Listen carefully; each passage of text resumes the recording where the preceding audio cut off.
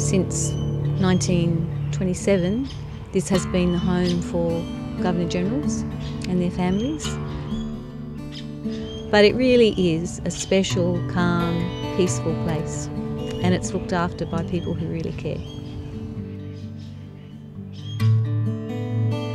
So in 1999, uh, after a visit to Gallipoli, uh, Sir William Deane came back with a proposal to build a garden to recognise the bravery uh, of all Australians, with the, the shape of the Southern Cross being the main point.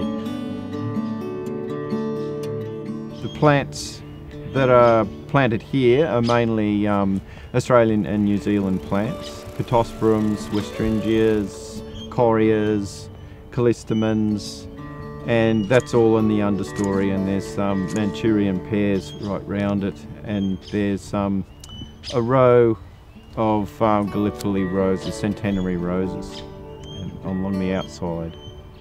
The Bravery Garden, um, it's, it's a very special place. It's, it's a place of contemplation. It is special to, to, to work here in such a, a beautiful garden.